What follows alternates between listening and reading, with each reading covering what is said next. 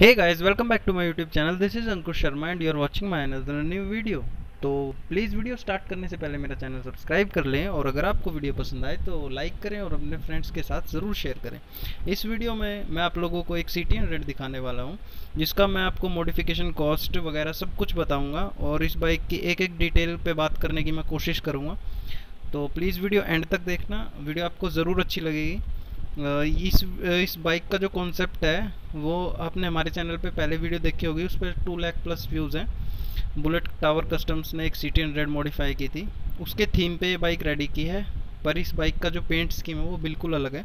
पर जो बेस अगर हम कॉन्सेप्ट की बात करें तो वही उसी बाइक का कॉन्सेप्ट इन्होंने इस बाइक में यूज़ किया है। तो सबसे पहले आप लोगों को बता दूँ कि अगर आपको कोई भी क्वेश्चन होता है तो आप कमेंट कर सकते हैं। कमेंटों के मैं मोस्टली सारे कमेंट्स के रिप्लाई करता हूँ। और अगर आप मुझे फॉलो करना चाहें तो इंस्टाग्राम पे फॉलो कर सकते हैं। मेरी इंस्टाग्राम अकाउंट का लिंक आपको डिस्क्रिप्शन में मिल जाएगा। पेज पे मैं जो भी मतलब वीडियो बनाता हूँ, उससे रिलेटेड बाइक की फ़ोटो या फिर वीडियो डालता हूँ। और आप मेरे पर्सनल इंस्टाग्राम पे आप मुझे डायरेक्टली मैसेज कर सकते हैं, जो भी आपकी क्वेरी हो। मैं कोई बाइक मॉडिफाई नहीं करता, मैं बस कस्टमाइज्ड बाइक्स और कार्स की वीडियो बनाता हूँ। तो इस बाइक की अगर हम बात करें तो ये बाइक महाराष्ट्र के एक भाई की है, जिसका नाम विश्वजीत है। और काफ़ी उन्होंने पैसा खर्च किया है इस बाइक पे और एक एक बारीकी पे बिल्कुल ध्यान दिया है। और मैं मतलब आप खुद ही देख सकते हैं बाइक की तारीफ़ करना बनता है। कुछ कुछ मतलब कुछ इसमें और चीज़ बेटर हो सकती है, जैसे मैंने उनको बताया है। और वो इन चीज़ों पे काम करेंगे। बाकी एग्जॉस्ट की साउंड अगर आपको सुननी है तो वीडियो में आपको एग्जॉस्ट की साउंड भी मिल जाएगी। एग्जॉस्ट इसका ऐसा कुछ मॉडिफाई नहीं है, पर फिर भी उसकी साउंड अच्छी आ रही है और सी टी हंड्रेड ये बाइक होने वाली है। सी टी हंड्रेड जैसा कि मेरे चैनल पे आपने बहुत वीडियोस देखी हैं सी टी हंड्रेड की, या यूट्यूब पे भी बहुत वीडियोस देखी होंगी। पर इतनी क्वालिटी से अगर आप काम देखें तो ऐसा किसी किसी बाइक में ही होता है। ऐसा काम करने के लिए आपको बहुत ही एक तो डेडिकेशन होनी चाहिए, आपके पास टाइम भी बहुत ज़्यादा होना चाहिए और पैसा तो ऐसी चीज़ों में, ऐसे प्रोजेक्ट्स में लगता ही है। जो मेरे को ओनर ने बताया है, उन्होंने बताया कि वो इस पर अब तक थर्टी फाइव थाउज़ेंड के अराउंड खर्च कर चुके हैं।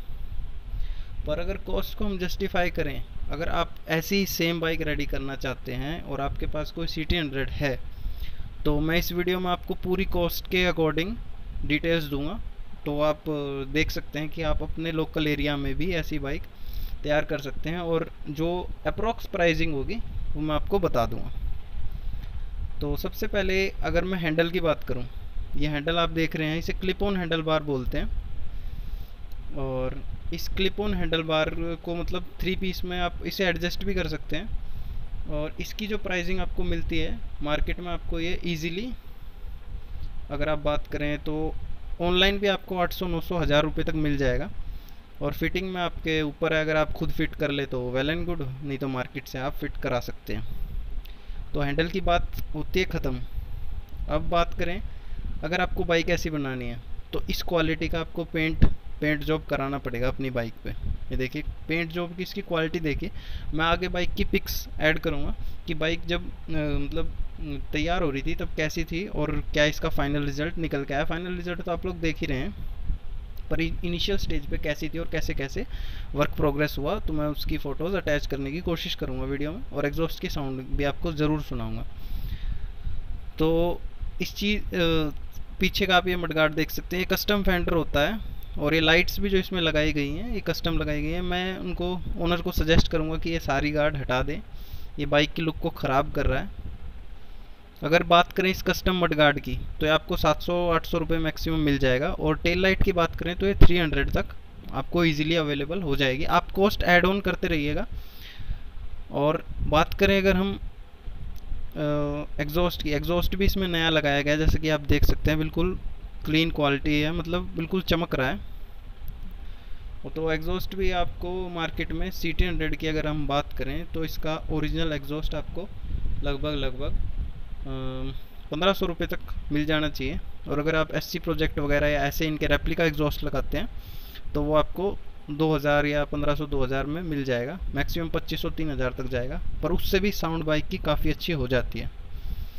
और जैसे आप बाइक मॉडिफाई कराते हैं, आप इतना पैसा लगाते हैं तो सबसे पहले आपको इंजन में भी काम कराना ज़रूरी होता है। तो इस बाइक का इंजन का भी काम हुआ है। और इंजन में आप मान के चलिए अगर आप फुल इंजन वर्क कराते तो कम से कम आपको पाँच हज़ार रुपये तक खर्चा करना पड़ सकता है आपकी सी टी हंड्रेड में। अब बात करें इसके अलोई व्हील्स की। अलोई व्हील्स यही डिज़ाइन नहीं ऐसे और भी डिज़ाइन मार्केट में अवेलेबल हैं सी टी हंड्रेड के लिए। और अगर आप दिल्ली से हैं तो करोलबाग हब है इनकी आप सचदेवा अलोई व्हील्स पे जाके अलोई डलवा सकते हैं। काफ़ी ट्रस्टेड शॉप है मैंने उनकी मतलब आ, उनकी दुकान से अपने फ्रेंड की बाइक में अलोई व्हील्स डलवाए भी हैं। तो आप देख सकते हैं इनिशियल स्टेज पे ये बाइक ऐसी थी। ये इसका जो बेस मतलब बहुत पुराना वेरिएंट है ये। आपको 2004 5 6 में इस टाइप का वेरिएंट आता था, बिना अलोई व्हील्स के। और ये कुछ इसकी ऐसी कंडीशन थी। इसको पहले पूरा खोला गया है। इसका फ्रेम तैयार किया गया है। क्योंकि चैसी काट के ही इसका कस्टम कैफ़े रेसर वाला जो फ्रेम देखिए आप देख सकते हैं, तैयार किया गया और इसमें जो सीट उन्होंने मतलब यूज़ किया ना तो थोड़ी कंफर्टेबल सीट है। वैसे कैफ़े रेसर की जो सीट होती है, थोड़ी पतली होती है। फिर इसमें प्राइमर की कोटिंग करके चैसी को मतलब पेंट के लिए रेडी किया गया है। और चैसी पे भी बिल्कुल खोल के जितना हम पेंट करते हैं, उतना उसका पेंट लॉन्ग लास्टिंग होता है। और आप पेंट की क्वालिटी देख सकते हैं जज कर सकते हैं बिल्कुल। ये इसका टैंक है। टैंक इसका स्टॉक ही टैंक रहने वाला है। कोई इसमें टैंक टैंक की अपग्रेडेशन नहीं है। ग्लोसी रेड इस पर पे पेंट किया गया है टैंक पे। और छत्रपति शिवाजी जैसा कि आपको पता है, महाराष्ट्र साइड में उनको काफ़ी पूजते हैं या फिर उनको आइडल एज अपना आइडियल आइडियल मानते हैं। तो वो इन्होंने टैंक पे लिखवाया हुआ है, छत्रपति। ये इसके इंजन के पेंट की क्वालिटी है।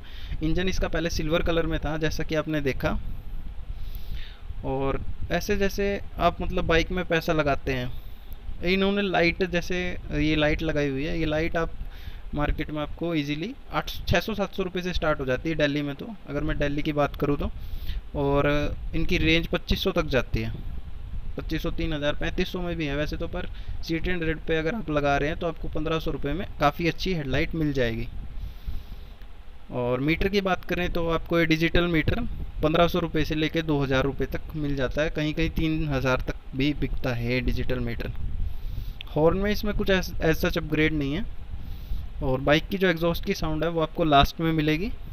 और इसमें ना एक और सजेशन देना चाहूँगा मैं भाई को कि जो इसके ओनर हैं, कि जो इसकी हेडलाइट का जो मतलब कनेक्शन है ना, वो एसी पे ना रख के डीसी पे करा दे। क्योंकि जैसा कि आपने देखा, जब बाइक स्टार्ट हो रही थी तो लाइट फ्लिकर कर रही थी। वो इसी वजह से कर रही थी कि डीसी पे कनेक्शन नहीं थे उसके।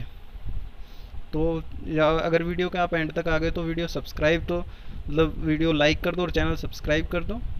और अभी मैं आपको एग्जॉस्ट की साउंड सुनाऊँगा। वीडियो में प्लीज़ लास्ट तक बने रहें।